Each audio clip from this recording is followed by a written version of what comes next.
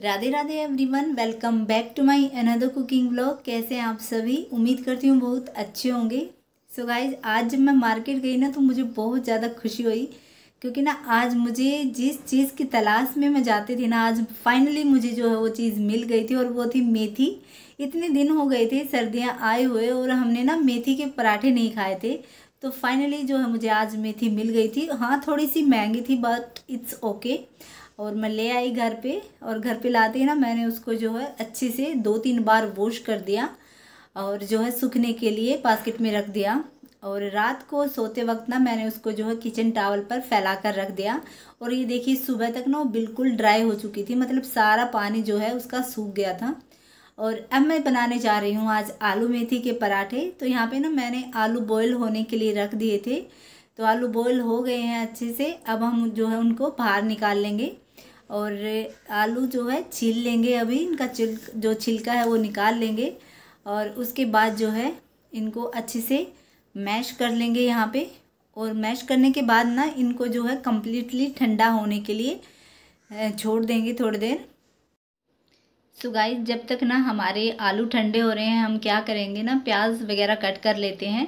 तो आप देख सकते हो, यहाँ पर ना मैंने मेथी को जो है बिल्कुल बारीक कट कर लिया है।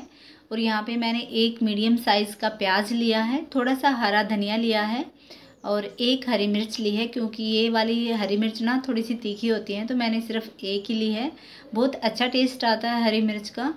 तो ये सभी जो है हम बारीक कट कर लेंगे। हमारे यहाँ ना जो पराठे सबसे ज़्यादा खाए जाते हैं ना, वो है आलू मेथी के पराठे। लेकिन मेथी यहाँ पे इतनी ज़्यादा नहीं मिलती साउथ में तो मैं पालक ले आती हूँ।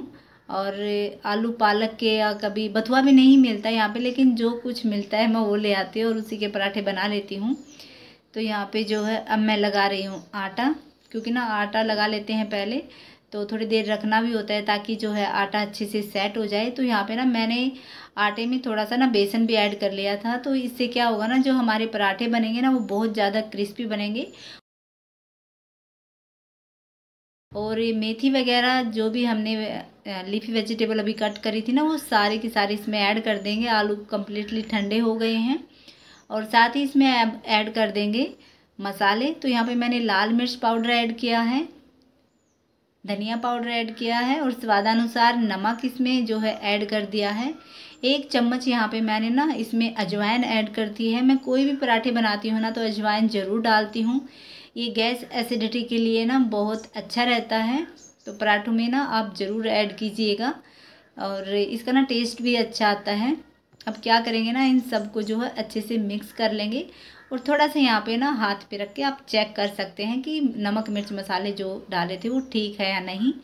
और अब हम बना लेते हैं अपने पराठे। तो आटा हो गया है, दस मिनट रखे हुए, अच्छे से सेट हो गया है। अब थोड़ा सा आटा लेंगे और उसकी लोई बना लेंगे। सो आप देखना गाइज़ बिल्कुल भी जो है हमारे पराठे नहीं फटेंगे और आप जितनी चाहे ना, उतनी मर्ज़ी इसमें जो है फिलिंग भरिएगा। और आप ये ना पराठे बिना आलू के भी बना सकते हैं। अकेली मेथी के प्याज और हरी मिर्च कट करके भी बनाएँगे ना तो भी बहुत ज़्यादा टेस्टी बनेंगे। लेकिन बच्चे क्या होते हैं ना कि आलू के ज़्यादा खुश होके खाते हैं।